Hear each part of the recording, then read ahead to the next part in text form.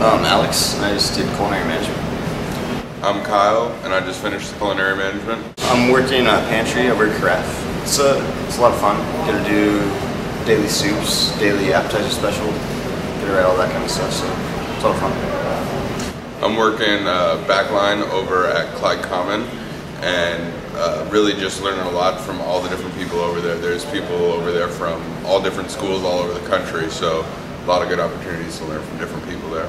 I have a dad who's in the industry, and so I've been around it for a while. And when I decided I wanted to go to culinary school, I started asking some of the chefs that he works with, um, and several of them had gone to school under Chef Wilkie and all the other staff here, and they said, wherever it is these people are teaching, these are the people you need to learn from.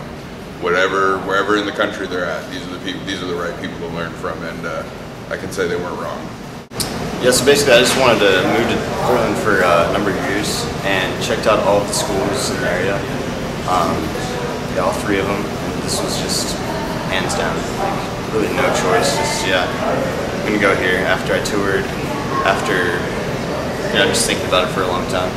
It was definitely the right choice. It's deceptively fast paced because you start out and it's it is the very basic fundamentals at the beginning and um, you know it starts slow but I mean, out of nowhere, the pace of everything just picks up, and I mean, before you know it, you're all the way through a lot of different proteins and different, you know, advanced techniques before you even realize that you've transitioned over. Yeah, absolutely. Is there anything that you guys learned here that now you can't imagine not not having learned it? Definitely in T1 when uh, Ikram does his uh, spice and herb tasting, and just like because I, I don't know, I don't, I've always tasted things before, but I've never really like sat down and thought about things like that. Was it, did you have any kind of aha moments where you know maybe you were struggling with something and and, and suddenly things clicked? Yeah, I did uh, in T2 a lot. Um, you know, you struggle with a lot of different things, and Brophy, Chef Brophy, really helped me figure out. You know, you need to learn to think on your feet. You need to learn to adapt and work with what you have, not just sit there and complain about what you do or don't have and what you do or don't need. And the whole ideal of like, you know, you get the same product, but each each individual thing is different, and working around that to you know balance flavor, and just come up with new ideas. Just Would you say that the, the school and the education met your expectations, didn't meet or exceeds, and in what way? Vastly exceed my expectations. Vastly exceeds. Um, you know, I was coming looking to hope and get a nice, general, well-rounded education, not much more. And you know, I've created a lot of good friendships with different people in my class and the chefs here. And you know, I know that I'll continually be getting an education from these people whenever I, you know, they're available for me to contact as a resource for the rest of my life. And I, I mean, that's invaluable in itself. Is just having these people with this wealth of knowledge, Yeah. you know, able to help me. Make sure it's something you want to do before you dive into it, Yeah. because it is it's a tough industry and you got to be ready to work. It's probably you know the best decision I ever made for sure. Yeah, bar none. Yeah. easy. Anything that you guys would have done differently?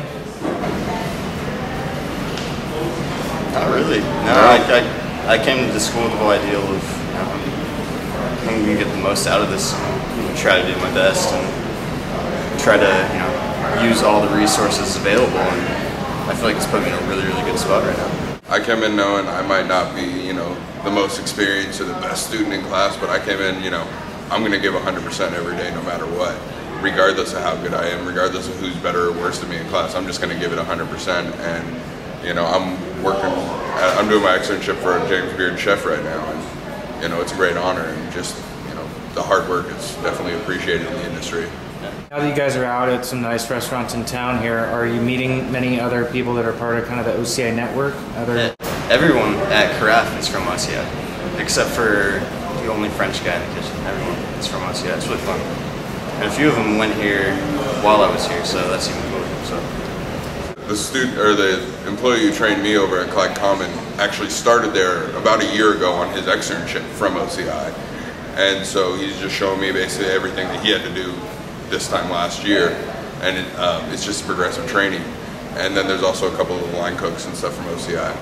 Hammer's giving me the eye over there. I gotta wrap it up. Be afraid of hammer. Yeah. Yeah. Fear the hammer. Fear the hammer.